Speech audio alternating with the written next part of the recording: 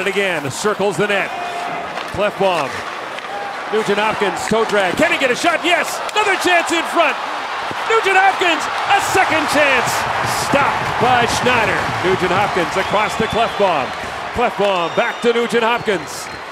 Ryan Nugent Hopkins. Cuts for the net. Nugent Hopkins! Oh, and ripping his shot wide was Maroon as Schneider was without his stick. Maroon brings it right back in. Patrick Maroon still has it. To the middle it goes. Nugent Hopkins now. Nugent Hopkins, Maroon. Maroon has an opening, lets it go. Big rebound. Nugent Hopkins looking for it. Ryan Nugent Hopkins from the corner.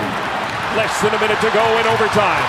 Big play right there by Oscar Klefbom. Takes it away from Taylor Hall. Here comes Maroon with Nugent Hopkins. Maroon right up the middle. Pushed off the puck there by Greene. Gibbons gives it to Greene.